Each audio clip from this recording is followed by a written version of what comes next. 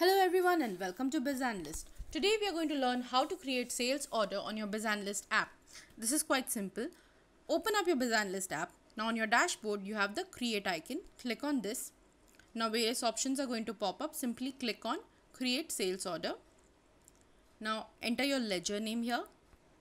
Enter the order number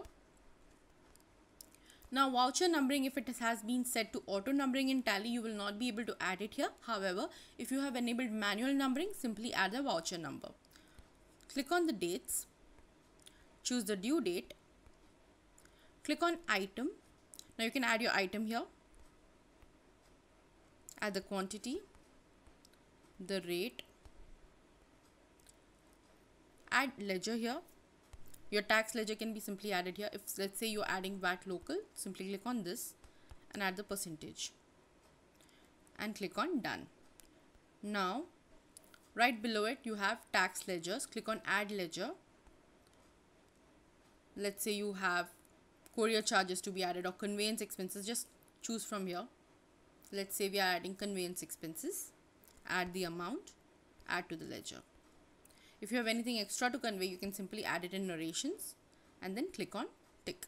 Your order has been created successfully. Now to view the status of this order, simply click on reports. Under reports, go to my entries and under my entries, go to sales order. Now here, you will be able to see all your sales order. To view your particular sales order, simply click on the calendar, filter out the dates. Now you can see the status here. It's either going under pending, success or failed depending upon the status. If you wish to view the particular order in detail, simply click on this. Now, if you wish to share this particular sales order, click on the share icon at the top right. Now, you can either send it across to your customers or any other team member in PDF, text or print format. Now, let's say we want to share it in PDF format. You can share it either by WhatsApp, Gmail or messages click on WhatsApp if you want to send it by WhatsApp.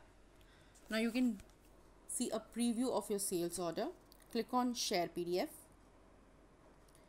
Choose any of your contacts and send it across. Now your report has been successfully sent. If you want to recreate the same order, simply click on the clone icon here, copy icon and you'll get a pop-up message asking you are you sure you want to punch the same order again? Since your answer is yes click on yes. To know more about our various features log on to bizanalyst.in or get in touch with one of our team members. We'll be very happy to help you. Thank you